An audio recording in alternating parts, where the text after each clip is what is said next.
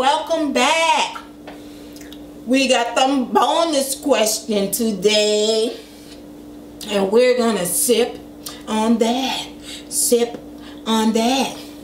Yes, welcome back with your host, Nicole. And we're going to do the bonus question.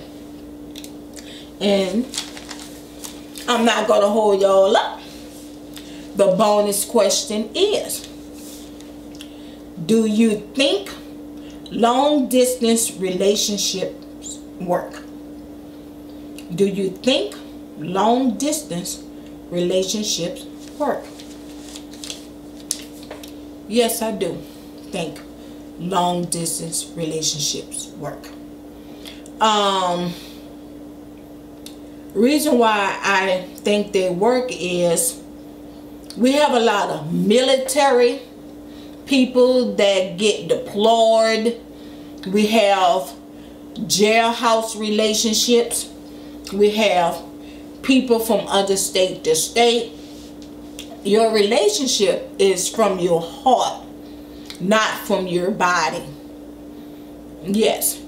Uh, they have people you ever saw people still in love with people who's died and moved on and their heart is still whole for these people? You know, your heart can still feel a lot of pain and be passionate for a person even if they stay in a long distance. Um, and if y'all loyalty and committed to one another and y'all trying to pick a right time to come together as one um make frequent trips. Yes um i don't know how y'all money is but make frequent trips um on the airplane on the bus you know stay on the phone longer at night. That would give a person some kind of insurance that okay i know i'd be on the phone with them all night you know we speak we text all during the day. But yes um it's just the same as people doing what that's called meeting on the internet you know. They not seeing the person all the time. They're just writing on a com computer and they compatible.